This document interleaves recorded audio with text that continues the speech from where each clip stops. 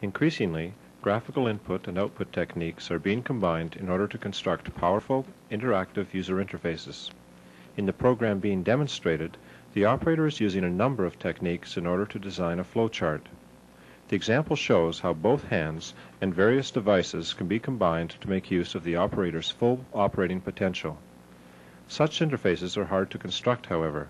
In this tape, we will demonstrate two tools developed at the University of Toronto in order to facilitate this task. The first is a runtime support package that handles user interaction. It is a table-driven package that handles all input, event detection, screen updates, and procedure invocation. Even on its own, such a frees applications programmers from low-level detail. It facilitates software maintenance by enforcing a common programming methodology for user interfaces. And finally, it facilitates portability of application software, since all interaction is via a standard software package. This next example is a simple chemistry simulation on titration. Adding acid brings a solution to equivalence.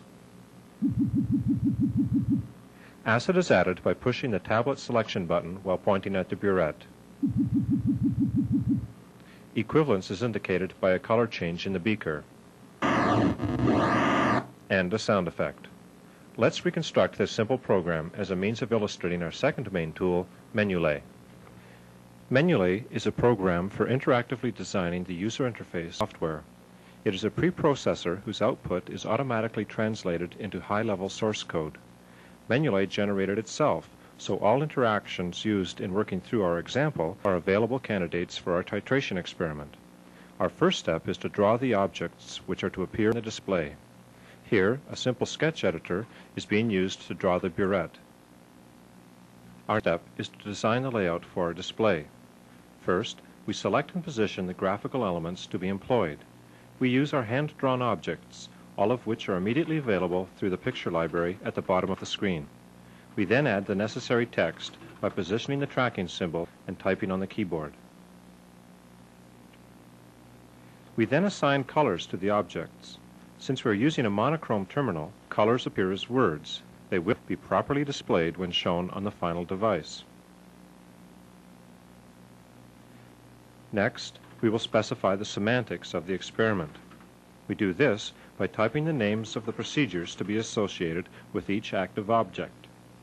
The procedures must be pre or post-defined by the applications programmer, or defined on the spot within Menulay. Nearing the end, we will now do the final scaling and positioning of objects. Note that in positioning objects, we can make use of a grid for increased accuracy.